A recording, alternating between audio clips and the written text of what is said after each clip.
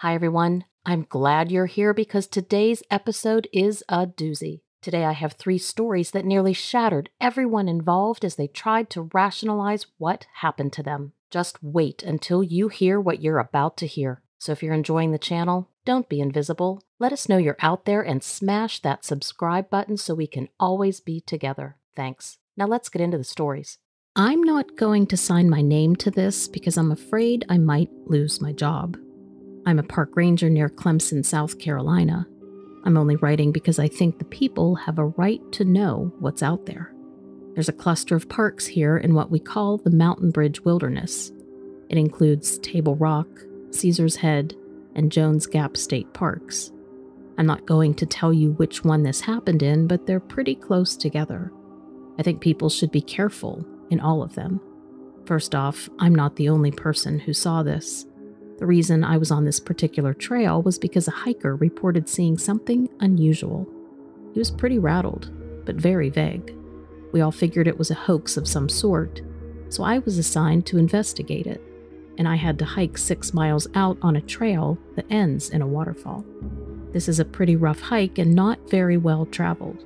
Honestly, we have so many waterfalls in this area, People seem to prefer going to the ones that have easy access and end in a shallow pool where their kids can swim.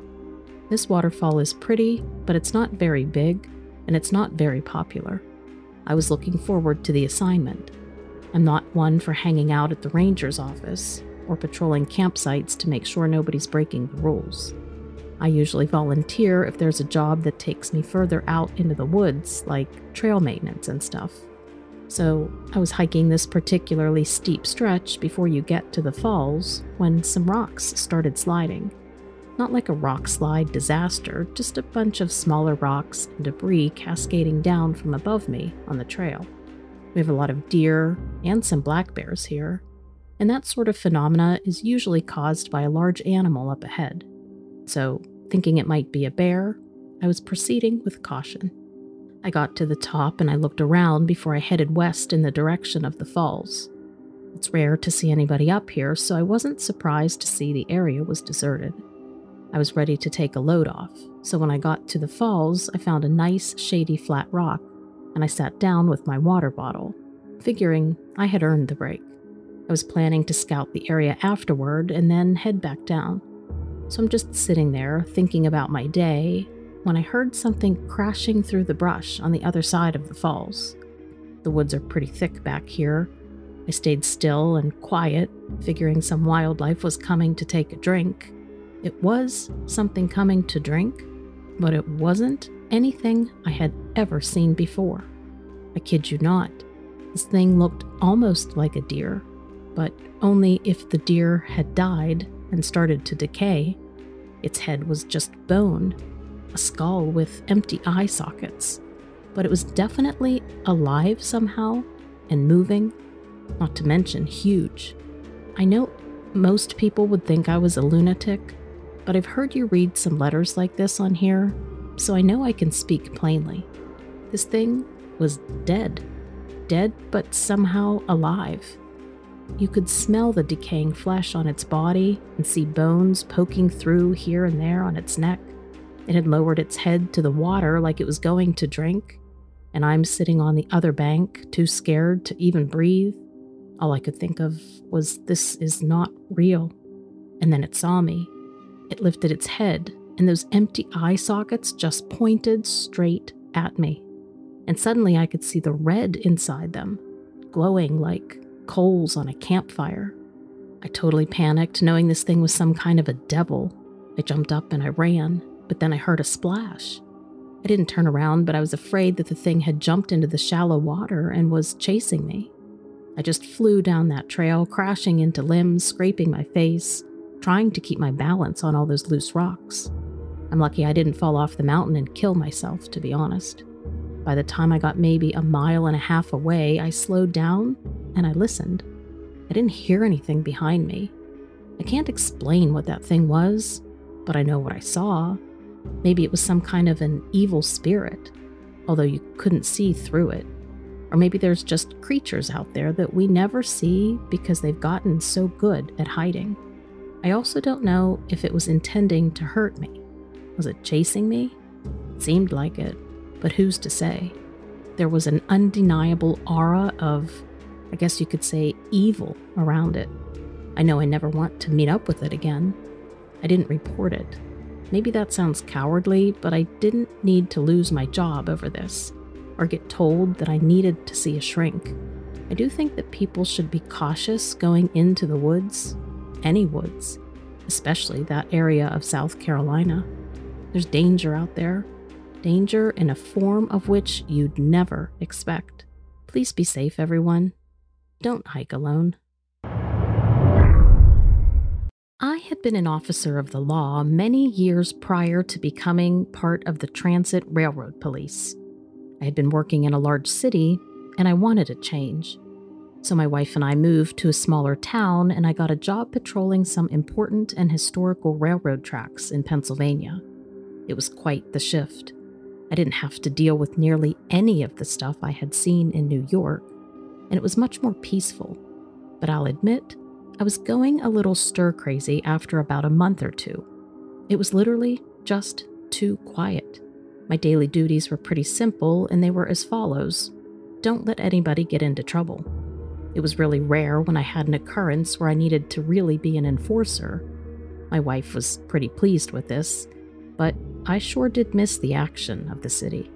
Staring at railroad tracks was like watching paint dry. Sure, I spent more time at home than at work, but the days felt like they just dragged on. I was waiting for something to happen, something exciting, anything.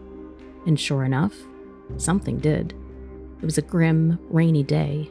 Everything was gray, everything was wet, and I remember thinking, great, another boring day. People would rather stay inside and keep dry than go out on a day like this and stir up any trouble. Little did I know that mudslides were not unheard of with the areas of the railroad on days like this. We had plenty of landslide scares that day. My wife was pretty worried. She didn't like the idea of me being around a natural disaster, but I told her that after dealing with some pretty scary people in the city, a landslide would be a piece of cake.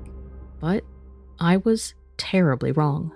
To make matters worse, I had been stuck late at work that day. I guess that's what happens when you take quiet life for granted. I was finishing up for the night. Many of the emergency disaster help had gone home after cleaning up, but I wanted to make sure that everything would be safe and okay for the next day. I also had this very intricate report that I had to fill out, very detail oriented in this area, and everything was still pen and paper. No computer screens. My report took a few hours to fill out, and I figured that before I went home, I'd head out and inspect that same area of the railroad again. So I went back down to the area.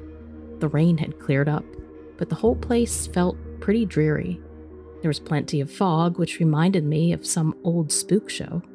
And I just remember it hitting me and me thinking, wow, this is pretty creepy. I don't like this. And that's when I saw something out west, towards the trees. I wasn't used to this many trees and being surrounded by full on nature. I literally forgot about the possibility of a wild animal roaming. But when I got to remembering, I'm thinking, no, it's an elk or a deer or something like that. That wouldn't be unusual. The only thing that was unusual was that I could hear my thoughts out there. But I got back to business. I'm checking off this list of things and I'm really trying to make sure I have everything covered. And then I hear something moving around off to the west again. So I stopped, I looked around, and I got to wondering about what would happen if I were to face an elk. Would the elk hurt me? I wasn't sure. I had some bear mace. That would work on an elk if it came down to it, I hoped. And just then, another officer down towards the office called my phone. He was asking if I was okay. I said yes, I was okay, just checking everything out. But I asked if they had ever been targeted by an elk. I was pleased to hear when he started to laugh, but then he said, But be careful of the wildlife. He explained that they could be dangerous, but to just hang on because he was headed my way anyway to help me finish. Something about the other officer's warning made me a little nervous, and the fog is now laying down so thick that I can't really see anything. Can't see if it is an elk or what. So now I'm thinking it could be a bear or something maybe more aggressive. So I climbed into my tiny patrol car and just hoped that the vehicle would protect me. And that's when I realized my car was facing west. So I turned on my brights. And you know what? I'm honestly getting goosebumps thinking about it. I saw what I had been sensing. Off to the west, something large was standing in the fog. And I'm telling you, it was huge. I don't think I've ever seen anything that large in my life. Yes, it was tall, but it was also very wide. Its posture reminded me a little of a gorilla's, with arms that were long and thick, just like its chest. And I couldn't really see its legs because the fog was so dense. And the thing didn't really seem to have a neck either. Now, it looked like a gorilla's posture, but it didn't look like a gorilla. It didn't look like it even had hair. And it kind of looked bald, really, and gray. And it looked like a gorilla man made of, like, rocks. It was crazy. Between the distance that it was from me and the fog, it was a bit obscured, and it took off into the trees the moment I turned the brights on. By the time the other officer arrived, I was shaking. He didn't know what I was talking about. He guessed that maybe I had seen a bear. But it wasn't a bear. And there's no way in hell it was a bear. And also, I still haven't told my wife. I grew up in a suburb that was between New York and Philadelphia.